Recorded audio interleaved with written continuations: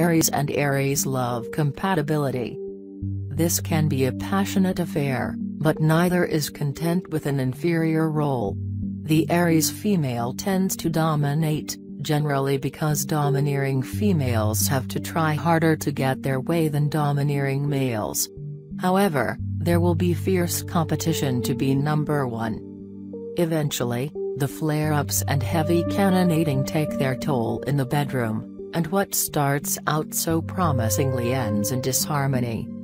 The prognosis is a little better if each has outside interests and or a career separate from the other.